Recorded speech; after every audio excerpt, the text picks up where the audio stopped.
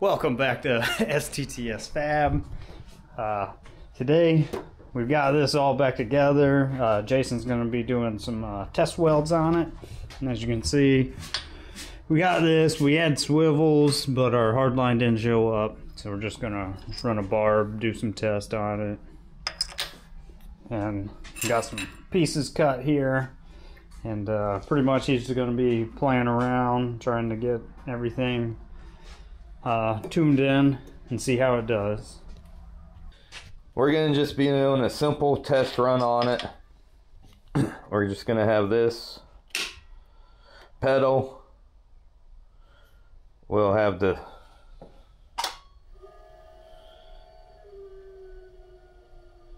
We're gonna turn it down pretty slow on it. Well, we'll just be putting these two together. I'm just going to be doing a fusion weld on it to make sure it works fine. I've used these on my other jobs and some of them are jerky while you're running the power from the welder through it. So that's all we're going to be doing is seeing the smoothness of it. Um, we haven't done this yet. You're seeing the first thing, so I don't know if the settings and pulses will be right, speeds. It might be good. It might be the other side. So we'll get it set up and do a little welding. Yep. Gotta get this out. That did not go on straight at all. okay, we got that. Got that up. You got that down there. This. As that. There we go. Put that on there.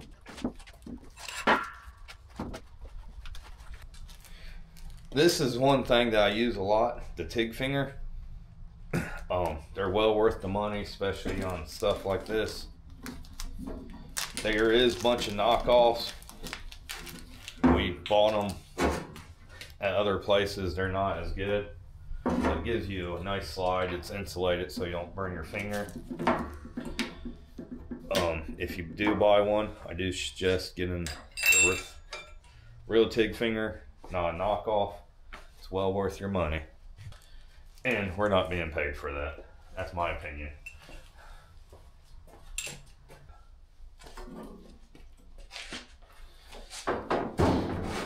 Okay, we'll get this tacked together.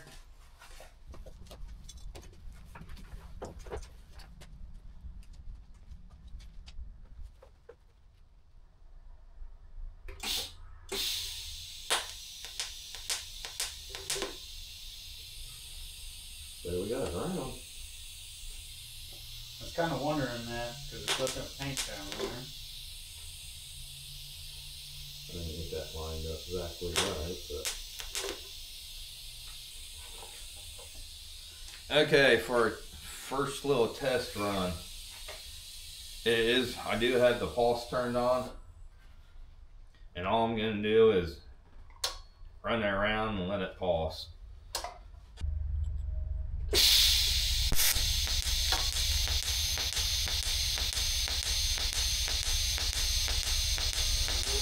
That just took off pretty good.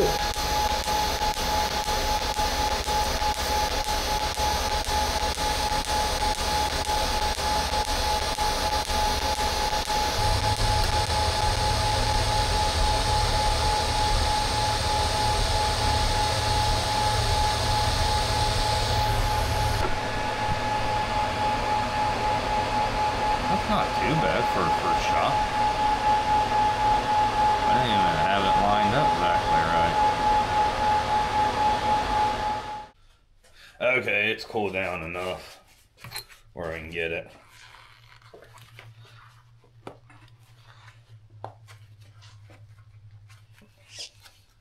Get the plug out of it. Okay. Try to get it where you can see it on the inside. We did not. It was our first shot. It was too cold at the start. Then once it's got preheated, but the gas coverage is good. First impressions of this thing. It works pretty good. It had no hold up, no hang when you first started in the middle of it. That other ones I use, sometimes they work, sometimes they don't. Only did the one on it yet so far. But seems to be a really good machine. We're gonna run a couple more of them, see if we can get the settings a little bit better. So we get a hundred percent pin on a piece of exhaust pipe. This is sixty three thousand, sixty thousand wall. I think 16 gauge. So 63. So yeah. So we're gonna run a couple more and let you watch on the way. I do got one question for y'all. Anybody ever have an uneven floor where your chair tries to roll away?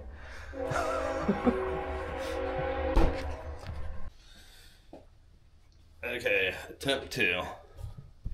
I didn't show you all this before. I'll do it now. I did, we was at 65. I took up to 68. We was at two. I went down to one and a half. I'll show you these settings. We're at 20% on the low, 80 or 70% on the high for the pulse. And then that's our pulses per second. I didn't change any of that. We'll get this next one tacked up. See if it does better or worse. I found out these fit down in these grooves to hold them together.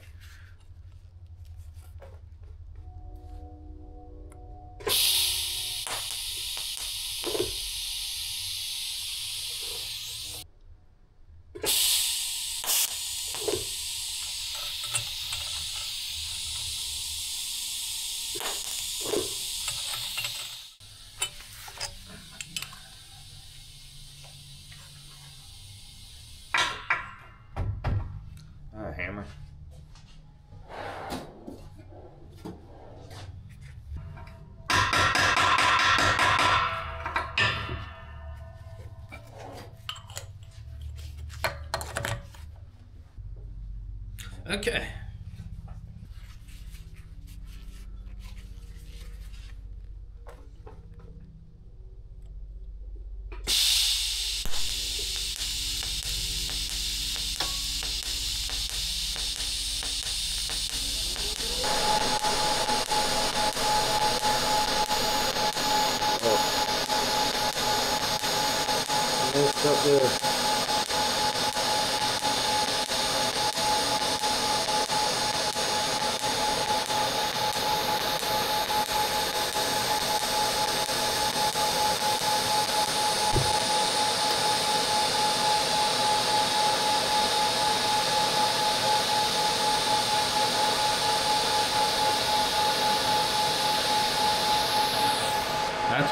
It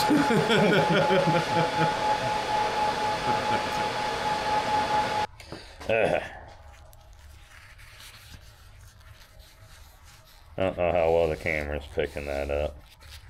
Okay, it's not all the way through in all the spots. It needs to run a little bit hotter for the speed. would like to slow it down a little bit, but we're almost maxed on the slow speed, so gonna have to bring the heat up. So we'll get the next one ready and we'll run that one. Okay, attempt three. Since this is just normal knob, I did get this, the turntable to slow down a little bit. So the settings are the same, it's just the table itself is gonna go a little bit slower.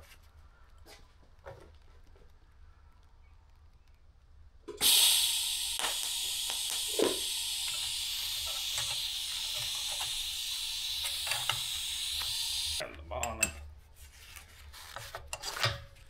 We'll do it right here.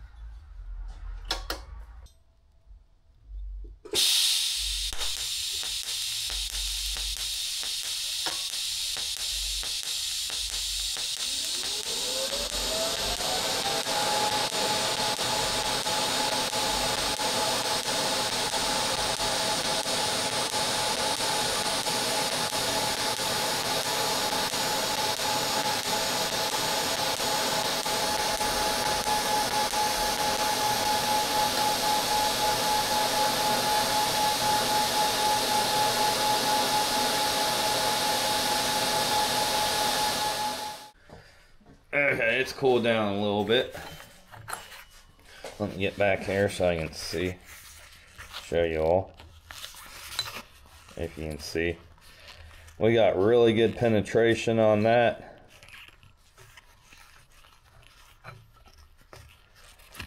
All the way through. This little table. Ain't bad.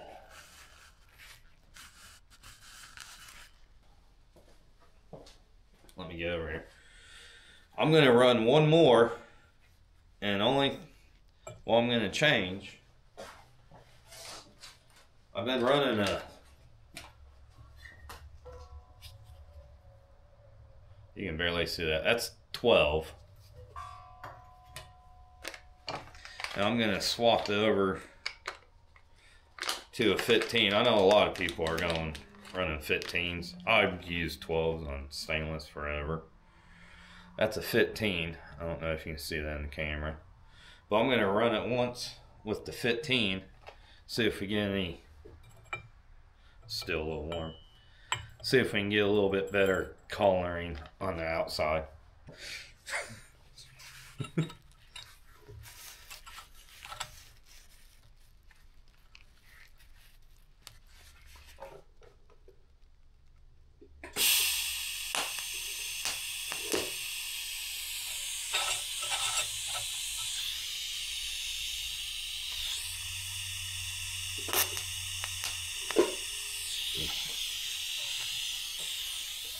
Okay. Only thing I'm doing different is change the cup size.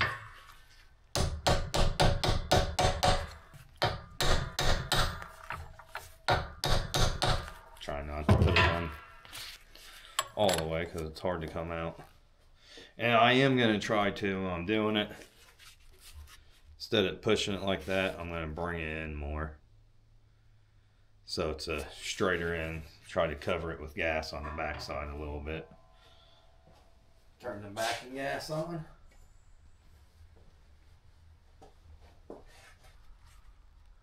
So we'll be at this angle here. Get that between-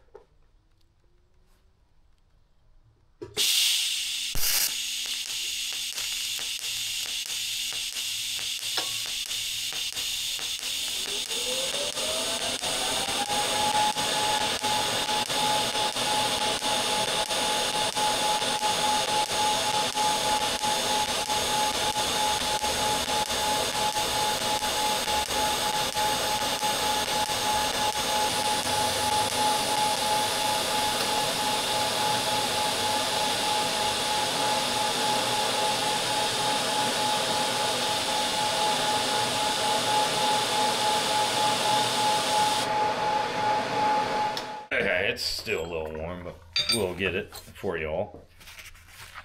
If you all want to see, can you see it in the camera? Uh, not really. The Can lighting. you see that? Yeah, Okay. you can see the top. I honestly haven't looked inside of it too good. But there you go. Um, leave in the comments between the 12 and the 15. It, this does have a little bit better coloring to me. Not much. Tell me what you think. I'll just let you. Uh-huh. That's our video this time. We was on basically just testing this out. Only thing I really don't like is you don't got a digital readout. It's going to be really hard to get the speed exactly the same, but it works really good. Um, Impress me.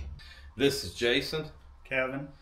from STTS Fab. Don't forget to check out our website, sttsfab.com. Like, subscribe. Thanks for watching. And you all have a good one.